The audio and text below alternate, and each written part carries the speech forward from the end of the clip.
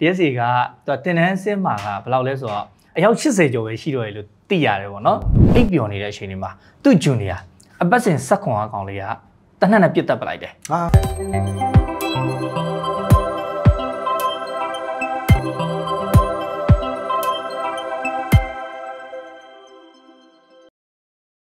မင်္ဂလာပါကိုမင်္ဂလာပါညီဟုတ်အဲကျွန်တော်ဒီဒီရက်တဲ့ထူးထူးခြားခြားပေါ့နော်အဲထူးထူးထူးထူးခြားခြားခြားဒါပထမဆုံးအကြောင်းအရာလေးကတော့ဒါ တက်တွင်းကတက်မိသားစုဝင်တွေပေါ့နော်အဲဒီအမျိုးသမီးစစ်မှုထမ်းမှုအတွက်ဦးစားပေးပြီးတော့စံစံပြပြအနေနဲ့ပေါ့နော်စံပြဒါစစ်ကောင်စီကခေါ်ယူဖို့အတွက်ဒါအိမ်တော်စုဇာတ်တွေပါဒါစရင်းတွေကောက်နေပြီစရင်တွေကောက်နေတယ်အိမ်တော်စုဇင်းတွေပါတိမ့်ယူပြီးတော့อืมဒါစရင်တွင်းနေတယ်ပေါ့နော်သူအသက်အရွယ်ပိုင်းခြားဆိုလဲ18ကနေ20ခွန်တွင်းဆိုပြီးတော့ဒါအမျိုးသမီးတွေကိုဦးစားပေးပြီးတော့အဲအဲ့ဒါတွေအလကားအကုန်ခေါ်မှာခေါ်ယူလာဖို့လုံနေရရှိရပါတော့အဲ့တော့ဒီဥပဒေကိုထုတ်ပြန်လိုက်တဲ့နောက်မှာကျွန်တော်သိထားတာက တက်တက်မိသားစုဆိုဗိုလ်ချုပ်တွေလည်းပါတယ်အခုရယ်တားပေါ့ဒါအကုန်လုံးပါမှာဘယ်အောင်လိုင်းနေစပြီးပါမှာအဲ့တော့အကြီးပိုင်းဗိုလ်ချုပ်တွေရဲ့မိသားစုဝင်တွေရောသူတို့ကောက်ပါမလားကျွန်တော်အဲ့လေးသိချင်တယ်နောက်တစ်ခုကသူတို့ပြောတဲ့အခုလက်ရှိပေါ့နော်တက်တွင်းကတက်မိသားစုဝင်တွေရဲ့ဒါမိသားစုဝင်တွေရဲ့အမျိုးသမီးတွေကိုစံပြအနေနဲ့ခေါ်မယ်ဆိုတော့အဲ့တော့ဒီဥစ္စာတွေကိုသူတို့လိုက်နာနိုင်မှာမလားနောက်ပြီးတော့ဒီပေါ်မှာအခုဘယ်လိုမြင်လဲဆိုတာကြီးကျွန်တော်အရင်ပထမဆုံးသိချင်တာဒီလိုပေါ့ညီလေးကသူကအခုဒါထုတ်ပြန်လာပြီ ထုတ်ပြန်လာပြီဒါလူကြားကောင်းအောင်ထုတ်ပြန်လာလဲဖြစ်နိုင်တယ်ဘာဖြစ်လို့လဲဆိုတော့အဲရှေ့ပိုင်းကာလတွေမှာအဲ့လိုလုပ်တဲ့ခါမှာတို့ပြည်သူကလည်းអော်တယ်လေ ဟုတ်တယ် စစ်မှုမထမ်းမနေရဆိုတော့အဲ့ဆိုမင်းတို့သားသမီးတွေလောက်ပါလား อืม မင်းတို့စစ်သားတွေရဲ့သားသမီးတွေလောက်ပါလား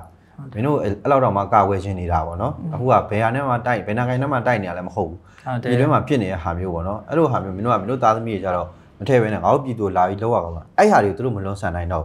မလွန်ဆန်နိုင်တဲ့အတွက်ဒီဥပဒေကိုသူတို့ဗန်းပြထုတ်တယ်လို့လည်းယူဆလို့ရတယ်အဲ့လိုထုတ်တဲ့အခါမှာအဲတကယ်ကျင့်တဲ့အောင်လည်းသူတို့လုပ်ပြရမှာလေရှိတယ်ဒါလည်းဆိုသူတို့ထုတ်ပြန်ပြီးသွားပြီလေအဲ့လိုလုပ်ပြဖို့အတွက်ကိုသူတို့ဘယ်လိုမျိုးတွေလုပ်နိုင်လဲဆိုတော့အခုဆိုရင်ဒါဘယ်ကိုသွားထိနိုင်လဲဆိုတော့အောက်ခြေကိုပို့ပြီးတော့ထိနိုင်တယ်ဟုတ်အကြီးပိုင်းဒါလူကြီးပိုင်းနေပေါ့နော်အကြီးပိုင်းစစ်ကောင်းဆောင်ရဲ့အကြီးပိုင်းနေရဲ့တာသမီတွေဆိုတာက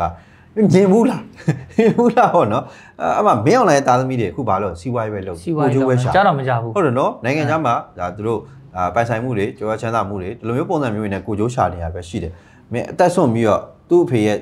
ဒါဟိုဟာဖြစ်တဲ့လုပ်ငန်းတွေမှာပါဝင်ပေးမယ်လို့တိုက်ခိုက်ပေးမယ်လို့ဆိုတဲ့ကောင်မျိုးတွေတော့ငါတို့မတွေ့ဘူးညီလေးကျွန်တော်မကြားလည်းမကြားမဘူးကြားလည်းမကြားဘူးပေါ့နော်အဲ့တော့အဲ့လိုမျိုးတကယ်လို့လုံးရမယ်ဆိုရင်တော့မှတို့ဒါတကယ်တမ်းပြောရင်စစ်တပ်ထဲမှာနေခဲ့တာသိတာပဲပေါ့နော်တည်ရယ် ယာရူးကြီးတဲ့ကောင်တွေလောက်ပိုင်ခွင့်ရှိတဲ့ကောင်တွေငွေကြေးတက်နိုင်ပါတယ်ဆိုတဲ့ကောင်တွေအကက်ကောင်းပါတယ်ဆိုတဲ့ကောင်တွေကအဲ့လိုမျိုးပင်ပင်မမတ်အလုပ်တွေမလုပ်ရဘူးသူ့နီးသူ့ဟန်နဲ့ရှောင်လွဲနိုင်တဲ့ဟာမျိုးတွေအများကြီးရှိတယ်။အားရှိအမေလူကြီးသားသမီးဘယ်ကောင်းမှဘာမှမပြောရဘူးဟုတ်တယ်။ဗဇက်ကနေသမီးနောက်ွယ်မှာရှောက်ပြောနေတာတကယ်ရှေ့ဟိုဟာဖြစ်တဲ့ဟာမျိုးကြတယ်ဘယ်ပြောရမလဲဟုတ်တယ်။ညမသူတို့ကပေါ်ပေါ်တင်နေတဲ့ဒါငါသားသမီးလို့ဖယ်ဖယ်ပြီးလိုက်ကွာဆိုရင်လည်းဘာတက်နိုင်ပါလဲဘာမှလုပ်လို့မရလုပ်ဘူးလို့မရဘူးလေနော်ဟုတ်တယ်အဲအဲ့တော့ကျတော့အောက်ခြေကိုပို့ထိ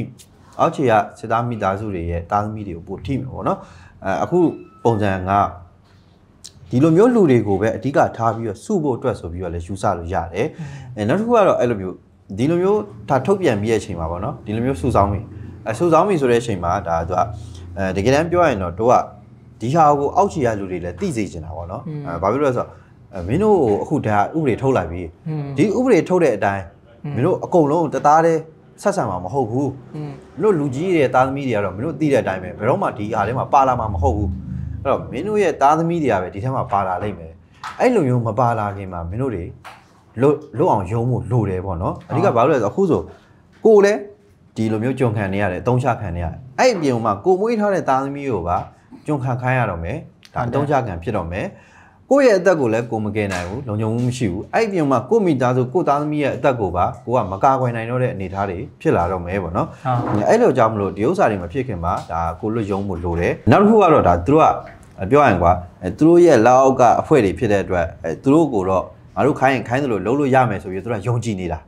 ဒါပေမဲ့တစ်ဖက်မှာဘာဖြစ်လာလဲဆိုတော့အဲ့ဥစ္စာကြားပြီးတဲ့အချိန်မှာကိုတို့စီကိုဆက်သွယ်လာတာရှိတယ်ဟုတ်ဟုတ်ကျွန်တော်ကတော့ဒါထားလိုက်တော့ဗောနော်အဲဒါကျွန်တော်ကျွန်မယောက်ျားကတော့ပြောလို့ဆိုလို့မရလို့ အဲဒီလိုမျိုးဒီလိုမျိုးအလုပ်တွေမှာသူလုပ်နေတယ်ထွက်ခိုင်းလို့လည်းမရဘူးဒါပေမဲ့ကျွန်မသားသမီးတွေကိုတော့ဒီလိုမျိုးအလုပ်တွေမှာကျွန်မကတော့မလုပ်ခိုင်းနိုင်ဘူးအဲဒါကြောင့်မလို့သူတို့ကိုကယ်လို့ရရင်ကယ်ပေးပါထုတ်လို့ရရင်ထုတ်ပေးပါအဲချိတ်ဆက်ပြီးတော့ကူညီပေးပါဆိုတဲ့ပုံစံမျိုးဒါအတန်နေလဲကြားရတယ်လို့လာတောင်းခံတဲ့လူတွေလည်းဒါတယောက်စားနှစ်ယောက်စားဖြစ်လာပြီပေါ့နော်အဲ့တော့ကိုတို့စီမှာတော့တယောက်စားနှစ်ယောက်စားဆိုရင်တခြားအဖွဲ့အစည်းတွေမှာရောဒီလိုမျိုးလိုက်ပြီးတော့ကူညီတောင်းနေရတာတွေမရှိနိုင်ဘူးလားဟုတ်တယ်အဲအခုဆိုအများကြီးဖြစ်လာပြီပြီးတော့ကျတော့သူတို့အဖွဲ့အစည်းကထုတ်တဲ့ဟာကိုသူတို့လူတွေတောင်မှ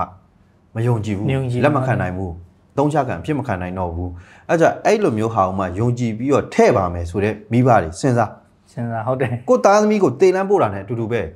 အဲအမျိုးသမီးဆိုတဲ့ဟာပိုးတော်ဆိုးမယ်ဟုတ်တယ်မလားအဲအဲဒါကြတော့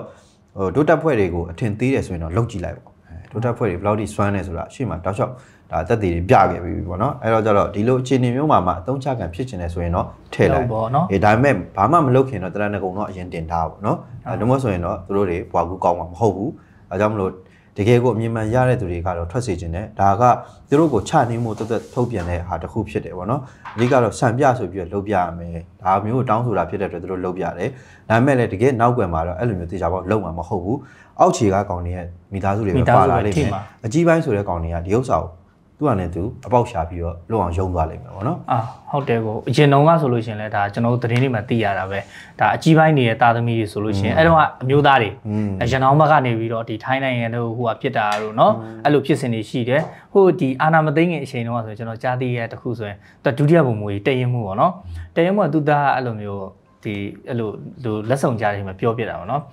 ငါသားစစ်တက်ထဲဝင်မှာဆိုရင်ငါကိုယ်တိုင်ပိုင်းရိုက်မှာတော့ ဒါအာနာမသိငင်တော့အချိန်နေကျွန်တော်အဲ့လိုမျိုးကြားသိရပါတော့အဲဒီလိုမျိုးတွေရှိခဲ့တော့သူတို့ကိုယ်တိုင်စစ်တဲ့အကြောင်းသူတို့ကိုယ်တိုင်အစိုးရတည်ပြီးသားစစ်သားတွေလောက်စစ်တဲ့အကြောင်းသိတယ်လို့မရှိဘူးလို့ကျွန်တော်မြင်တယ်ပေါ့နော်အဲကြောင့်မလို့သူတို့ကိုယ်တိုင်လည်းဒါယာရုရှိမှ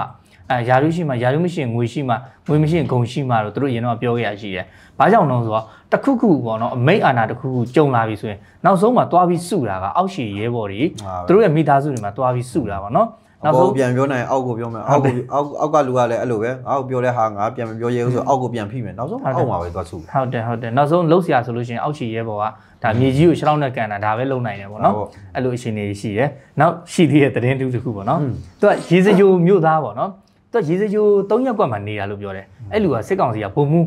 အဲသူကဘုံမူထွန်းလင်းကျော်ဘုံမူထွန်းလင်းကျော်ကသူက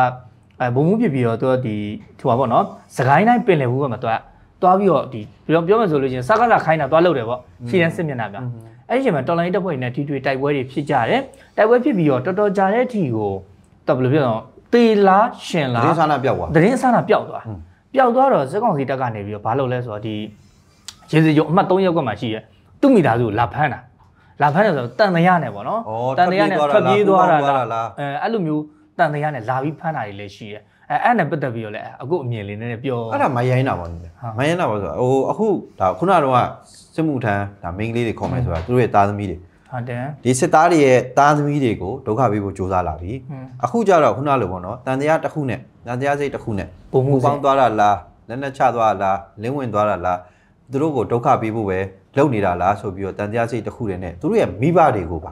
မိသားစုတွေကိုပါအပြင်မှာနေနေတဲ့သူတွေကိုပါဒုက္ခပေးဖို့စ조사လာပြီဆိုတော့ဒါက တက်တက်ကိုမရိုင်းတယ်လို့ပြောရမှာပေါ့နော်အဲ့တော့ကျတော့ဒါအခုချိန်မှာလက်ရှိစစ်သားလုံနေပါတယ်ဆိုတဲ့သူတွေအကြမ်းဖက်စစ်သားဟုတ်မင်းအောင်လှိုင်ရဲ့အကြမ်းဖက်စစ်သားလုံနေပါတယ်ဆိုတဲ့သူတွေကသူတို့ရဲ့သားသမီးတွေရောသူတို့ရဲ့မိဘတွေရောသူတို့ရဲ့မိသားစုတွေရောဘယ်သူကိုမှကိုသူတို့အကလွတ်မပေးတော့အလွတ်မပေးတော့ဘူးကာကွယ်လို့မရတော့ဘူးသူတို့ကိုယ်တိုင်ကစားတိုင်ပတ်နေဒုက္ခရောက်နေပြီသူတို့နဲ့ပတ်သက်သမျှဟာအကုန်လုံးကိုပါစစ်တပ်ကလိုက်ပြီးတော့အာအနေပေးဖို့လုပ်နေပြီအဲ့တော့ပြည်သူကိုပြောမနေနဲ့သူ့ရဲ့စစ်သားတွေရဲ့မိသားစုတွေကိုပါဒုက္ခရောက်အောင်လုပ်နေပါပြီဆိုတော့ ဒီအာနာရှင်ကပြည်သူကိုတော့စိုးပွဲရမရှိပါတော့ဒီထက်ပိုပြီးဒုက္ခပေးဖို့ပဲရှိတော့ဟုတ်ဟောနောက်ထပ်ဒါတက်တွင်းကတရင်ကောင်းအဲတက်တွင်းတက်တွင်းကဖီယိုဖီရဲ့အခြေအနေလေးလည်းတပြရင်ပြောကောင်းင်းလာလေးတွေတရင်ကောင်းလေးတွေပေါ့နော်တရင်ကောင်းလေးကဘာလဲဆိုတော့ဒါလာမယ့်နှစ်မှာဒါအကြောင်းစစ်မဲ့ဒါ never surrender အဲဒါ DSA ပေါ့နော် DSA DSA DSA ကသူကတင်တန်းစစ်မှာကဘယ်လောက်လဲဆိုတော့အဲကျွန်တော်ကြားသိရတဲ့သတင်းရဆိုရင်အယောက်80ကျော်ပဲရှိတော့ရလို့သိရတယ်ပေါ့နော်အဲ့ဒါလေးကျွန်တော်သိရတယ်နောက်ထပ်သတင်းတစ်ခုကကျတော့ဘာလဲဆိုတော့ သူက ODS Officer Training School ပေါ့နော်အဲသူအဲ့ဒီဘိုးတင်တန်းကျောင်းကိုကလည်းကွန်ဒီနဲ့ဟိုပုံငါအကြက်ကြီးတွေကိုပဲတင်တန်းပေးတော့မယ်ဆိုပြီးတော့ပဲကျွန်တော်ကြားသိရရှိတင်တယ်ရရှိတင်တန်းရရှိဖြစ်ခွင့်ပေးမှာအရာရှိဖြစ်ခွင့်ပေးမှာကိုအချက်ကြီးတွေပဲတွားတက်ရတော့မယ်တခြားဒီပုံမှန်ဆိုရင်အရင်တော့ကဆိုရင်ကျွန်တော်တို့ကြားသိရတာဘွဲရဆိုရင်သူစစ်သက်6နှစ်ပြီးလို့ရှိရင်ဒီ0 10တန်းအောင်ဆိုလို့ရှိရင်စစ်သက်10နှစ်ဟိုးအဲ့ရှေ့ကိုအရင်တော့ကဆိုရင်10တန်းအောင်နေတော့ဒါဟိုကခေါ်ကြတာရှိတယ်ပေါ့နော်အခုကကြတော့ ကွန်တီနဲ့ဟိုပုံအချက်ကြီးတွေကိုပဲဒါဘူတနန်တက်ရမယ်ဆိုပြီးတော့ဒီလိုမျိုးသူတို့ပြောင်းလဲပြင်ဆင်လာတာလေးတွေကျွန်တော်တို့ဒါတက်တွင်းကကြားသိရတယ်အဲ့ဒါတကယ်ပြောရင်လေဒီလာမယ့်နှစ်ကျောင်းဆင်းမဲ့ဥကြီးက80ဆိုတာဟာအဲတော်တော်ကိုမှဒါသူတို့တွေဒါဒုံးကဖွဲ့စည်းပုံပြတ်သွားပြီတော်တော်ကိုဖြိုပြဲဖြစ်သွားပြီဆုတ်ပြတ်တက်သွားပြီလို့ပြောလို့ရတယ်ရှေ့ပိုင်းဒီကိုတို့အခုလိုဖြစ်တော့ဆင်းခဲ့တဲ့အချိန်မှာ2558ယောက်ရှိတယ်ဟာတခြားကြီးပဲကိုရိုပတ်စစ်အစွန်များတော့မရှိဘူးနော်အဲဒါ50နှစ်ဆင်းတဲ့အချိန်မှာအဲ့လောက်ရှိတယ် အဲ့ဒါကတင်တန်းစတတ်တဲ့အချိန်မှာ3100ကျော်တယ်ဟာအဲတင်တန်းကာလအတွင်းမှာ3နှစ်အတွင်းမှာအဲဆာမွဲကြတာတွေပြုတ်တာတွေထွက်ပြေးတာတွေတေးတာတွေဒါမျိုးတွေကြောင့်မလို့အဲ့လောက်ပမာဏဆင်းတာဒါပေမဲ့ဆင်းတဲ့အင်အားကြီးကကြောက်စရာကြီးပေါ့နော်ဟာအဲသူတို့ကတော့ပြောလိုက်မယ်အရေးအတွက်ကနေအရေးချင်းဘာညာဆိုရပြောလိုက်မယ်ဟိုအရေးတော့ကမရှိတော့ရေအတွက်ကိုမရှိတဲ့အပြင်မှာအဲခုနခုနဟာနဲ့ဆက်ဆက်မိရပါတော့အဲအဓိကဒါကွန်ဒီနဲ့ပတ်သက်ပြီးတော့သူကအရာရှိဖြစ်ခွင့်ပေးမဲ့ဟာတွေကိုပါသူကကန့်သက်လာတယ်ဆိုတော့အဲအရာရှိဖြစ်ဖို့အခွင့်အရေးရသူမှန်သမျှတော့မှသူကအခွင့်အရေးမပေးတော့ဘူး ဟုတ်တယ်အရာရှိဖြစ်မှစိုးသွားပြီဘာလို့လဲဆိုတော့အောက်ချင်မရှိတော့လို့ဟုတ်ရှင်မရှိတော့ဟုတ်တယ်အောက်ချင်မရှိတော့ဒီချီဘောသေးဘောကွာအရာရှိကပြောရရင်ကွာဟုတ်တယ်မလားအဲ့လိုပုံစံမျိုးကြီးဖြစ်အောင်သူတို့လုပ်ခဲ့ကြတော့အဲ့ဒီအရာရှိတွေကလည်းတကယ်တမ်းပြောရင်အခုချိန်မှာဟိုဘုံဘလောအောဖြစ်နေတယ်ဟုတ်တယ်အခုဆိုယာရူးဆိုရင်ကွာအရင်တော့ကကပတိန်တက်ဆိုဘယ်နှစ်နှစ်ဆိုဘုံမှုဖြစ်မယ်ဒါပေမဲ့အခုအဲ့တက်ကြပါပြီနှစ်ဆအရင်တော့9နှစ်ဆိုခု10နှစ်ပဲအဲ့လိုပဲဘုံမှုဖြစ်ပြီးသွားရင်ဒါ option ရှင်းဖို့အတွက်ဆိုရင် ဒါတိမ်မှုဖြစ်ဖို့ဘုံဒုတိယဘုံမှုဖြစ်ဖို့ပေါ့နော်အဲ့လိုအတွက်ဆိုရင်သူက9နှစ်9နှစ်တတ်မှတ်ထားအခုဆိုအဲ့လောက်မရတော့အောက်ရှင်ပြုံးတာဘူးဟောချက်နေပြုံနေပြီရာရှိကအထက်မှာပုံပုံခံနေပြီကွာဒါပေမဲ့အောက်ချိန်မှာကျတော့ခိုင်းရမယ့်စစ်သားကမရှိတော့ဘူးပြောဘိုးဒီယာတသားတယောက်အဲ့လိုပုံစံမျိုးဖြစ်နေတာပေါ့နော်အဓိကတော့အဲအရင်လိုမျိုးသူတို့ပုံစံမျိုးလောက်ခဲ့တဲ့ဟာတွေကသူတို့အခုပြန်ပြီးတော့အဲ့ဟာတွေအကျိုးဆက်တွေကိုသူတို့ကောင်းကောင်းခံစားနေရပြီအကုန်လုံးကဘိုးဖြစ်ချင်တဲ့ကောင်လေးကြီးပဲဟုတ်တယ်အဲဒါပေမဲ့အဲ့လိုမျိုးဖြစ်ချင်တဲ့ဟာတွေအကုန်လုံးကန့်သက်ပလိုက်တယ် အဲပြီးတော့ကျတော့အဲအခုနောက်ပိုင်းစစ်တပ်ရဲ့တကယ်အခြေအနေမှန်နေအဲပြီးရင်ဒါပြည်သူပေါ်မှာတကယ်စေနာမထားတဲ့ဟာမျိုးတွေကိုအဲပြည်သူကအခုနောက်ပိုင်းဒီဒေါ်လာကာလနောက်ပိုင်းမှာတော်တော်လေးတည်လာတဲ့အခါမှာဒီစစ်တပ်သေးကိုဘယ်သူမှမဝင်ကြတော့ဘူးဟုတ်တယ်ဟုတ်ကဲ့အရင်ကတင်ထောင်တနဲ့န်းချီပြီးတော့လုံးဝဒီရှောက်ရတဲ့ဗိုလ်စင်တန်းကျောင်းတွေက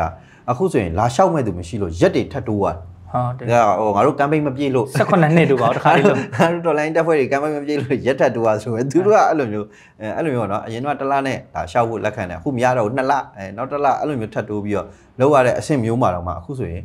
တရားတော့မပြည့်တဲ့အနေအထားတွေဖြစ်သွားဘူးအဲ့တော့ကျတော့ဒါကလည်းစစ်တပ်ကတော်တော်ကိုဖီယိုဖီယဖြစ်နေပြီဆိုတဲ့ဟာကိုတိတာညင်သာစီပေါ့နော်ဟုတ်တယ်နောက်ရှိသေးတယ်ဒါကတော့ကျွန်တော်တို့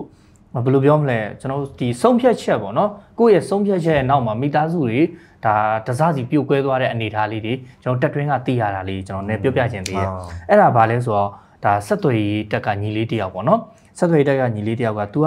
ချမ်းမြောက်ကခြေတန်းစစ်မျက်နှာရောက်တာအဲ့ဒီမှာချမ်းမြောက်ကနေပြီးတော့ဒါဖယိုဖျဲနဲ့သူတို့ဒါထွက်ပြေးလာရပေါ့ဗျာ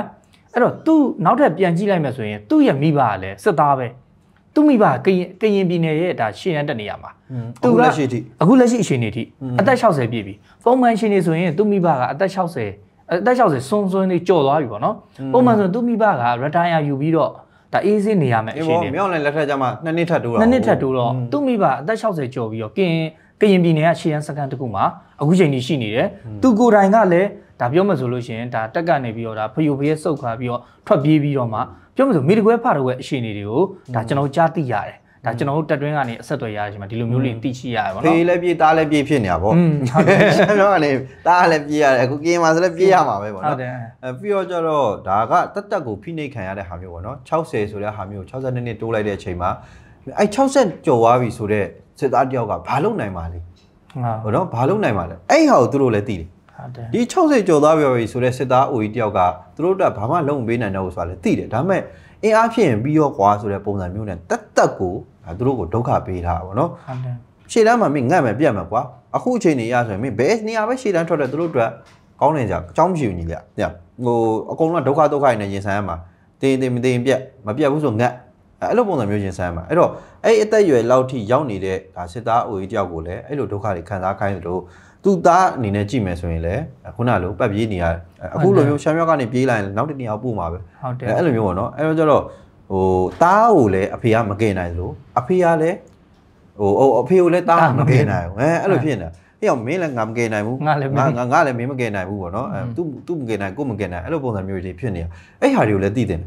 အခုလက်တလုံးမှာဖြစ်နေတာတွေတော်တော်များများအဲ့လိုကြည့်ပဲဘာလို့လဲဆိုတော့အဲဒိုတက်ဖွဲ့တွေကအခုကရှေးတန်းစကန်နေတီတိုက်ရုံမဟုတ်တော့ဘူးနောက်တန်းဌာနချုပ်တွေပါဝင်ပြင်းနေကြတယ်အဲ့ကြောင့်နောက်တန်းဌာနချုပ်မှာဘယ်သူတွေကြံမလဲမိသားစုတွေကြံရှေးတန်းမှာပါတယ်ရှေးတန်းမှာသူရဲ့စစ်သားတွေရှိမယ်ယောက်ျားတွေရှိမယ်အဲအဖေတွေရှိမယ်ပေါ့နော်အဲ့တော့နောက်တန်းမှာကြံခဲ့တဲ့ခါကမိန်းမတွေရှိမယ်သားသမီးတွေရှိမယ်အဲ့တော့ကျတော့ ရှေ့တန်းကိုလည်းတိုက်ခံရသလိုနောက်တန်းကိုလည်းတိုက်ခံနေရတာဖြစ်တဲ့အတွက်ဒီဒီသားသမီးတွေမိသားစုတွေကိုလည်းဒီစစ်သားလုပ်တဲ့လူကလည်းမကာကွယ်နိုင်ဘူးလုံခြုံအောင်မထားနိုင်ဘူးအဲ့လိုပဲသူ့ကိုယ်သူလည်းမကာကွယ်နိုင်ဘူးသူလည်းမလုံခြုံဘူးအဲ့ကြောင့်စစ်သားလက်ရှိအခြေအနေမှာမင်းအောင်လည်းရဲ့စစ်သားလုပ်နေတဲ့သူမှန်သမျှအဲ့ဒုက္ခတွေကတနေ့မဟုတ်တနေ့တစ်ချိန်မဟုတ်တစ်ချိန်တောက်လျှောက်ခံရမှာဟာတွေပဲ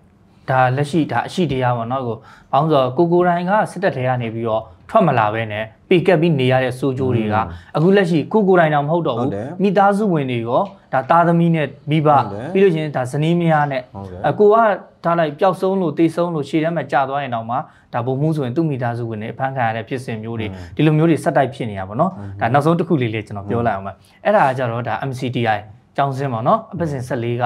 သူ့နာမည်ကနာမည်ပြောင်ပေါ့နော် one shine နဲ့ one shine သူကအမြောက်တက်က အဲသူကဒီရှေ့တန်းတနေတနေရပါတော့သူအမြောက်တက်ဆိုရှေ့တန်းကိုတွဲပြီးလိုက်ရရှေ့တန်းတနေရမှာသူအိပ်ပျော်နေတဲ့အချိန်တွေမှာသူ့ဂျူနီယာအပတ်စဉ်ဆက်ခွန်အကောင်လေးက